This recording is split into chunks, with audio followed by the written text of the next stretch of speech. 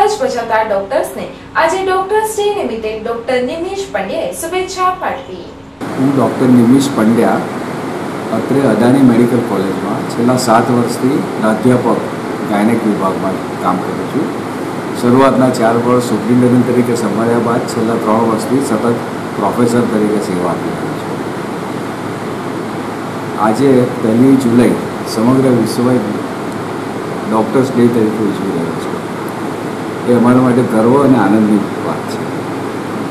Doctors ડેની ઉજવણીમાં તો જે ડૉક્ટર્સનું ડિવોશન હોય છે અને આ ડિવોશન પૂરેપૂરું સમર્પણ, એમાં ઘણી બધી વાર અમારા કુટુંબીજન, મિત્ર, નજીકના સગાના મેરેજ કે કોઈકની ડેથ થઈ હોય, એ બધા પ્રસંગોમાં હાજરી આપવાને બદલે દર્દીને પહેલું પ્રાધાન્ય આપીને ઘણીવાર અમે દોડ્યા છીએ. એવા અનેક પ્રસંગો આવ્યા કે શું પ્રસંગે અમારા ઘરના બધા જ વડીલથી માંડીને મિત્રોને બધા હાજર હોય, તો અમે એ પ્રસંગમાં હાજર ના રહી શક્યા હોય. પણ તે વખતે અમે કોઈક દર્દીની સેવામાં કરો ક્યાંક પરીક્ષામાં કે ક્યાંક એમાં હાજર હોઈએ. એટલે ઘણી બધી વખત અમારા પોતાના કુટુંબીજનોને લાગે કે અમે નિગ્લેક્ટ થઈએ છીએ, પણ ખરેખર અમે ક્યાંક બીજે સેવા આપી એક ગાયનેકોલોજીસ્ટ તરીકે હું કહું છું કે ડૉક્ટર્સ ડેની ઉજવણી અમારા માટે એટલા માટે ગર્વની બાબત છે કે માતાના મૃત્યુ દર અમારા માટે ખૂબ જ અગત્યનો છે. અને તંદુરસ્ત માતા હોય, તંદુરસ્ત બાળકને જન્મ આપે, તો તંદુરસ્ત સમાજનો ઉદ્ભવ થાય. આ જો બાળકની ના જ સારી રીતે જન્મે, માતાને તકલીફ પડે અને એમાં માતા માની પડે અને જ્યારે ગંભીર બીમારી થાય એમાં, તો માતાનું મૃત્યુ પણ થાય. પ્રજાજોગ મારે એટલું જ આજે સંદેશો આપવો છે કે એક માતાનું મૃત્યુ થાય ત્યારે હાહાકાર મચી જાય, કારણ કે બાવીસ, ત્રેવીસ વર્ષની નાની સરખી ઘરની દીકરી હોય બહુ હોય, એની આસપાસ આખું કુટુંબનું એ સંજ, બધા કાર્ય થતા હોય. એટલે એ આપણે એક કોર્સ તરીકે લઈએ તો એ ન્યુક્લિયસનું કામ કરે છે. સ્ત્રી. અને એનું જો મૃત્યુ થાય તો કુટુંબથી માંડીને બધે જ હાહાકાર. અને નાના બાવીસ ત્રેવીસથી પચીસ વર્ષની બહેન જો મૃત્યુ પામે, તો હજી તો એને દુનિયા જોઈ નથી. એ પહેલાં મૃત્યુ પામે એ બહુ દુઃખની બાબત છે. પણ અમારે એક જ વિષય માટે મારે આગ્રહ છે કે એક મૃત્યુ માટે અનેક જવાબદારી હોય છે.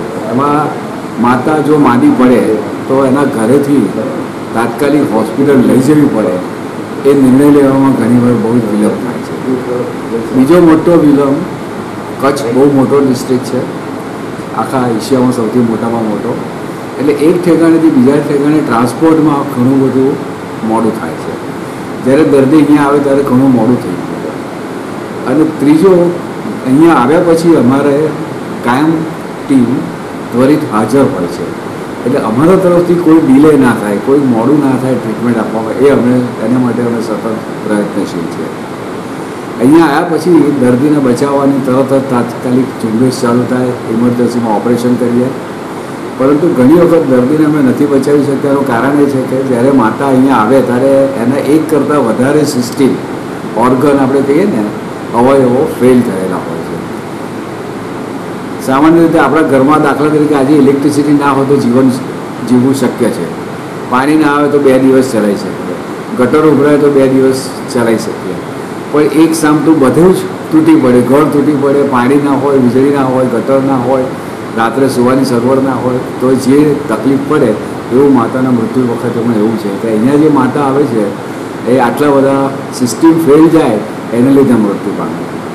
પણ અમે ગર્વ સાથે એટલા માટે કહીએ છીએ કે એક મૃત્યુની પાછળ અમે ઓછામાં ઓછા બીજી પચાસ આવા જ મૃત્યુ પામવાની તૈયારી હોય એવી માતાઓને અમે બચાવવા માટે સહભાગી થઈએ છીએ.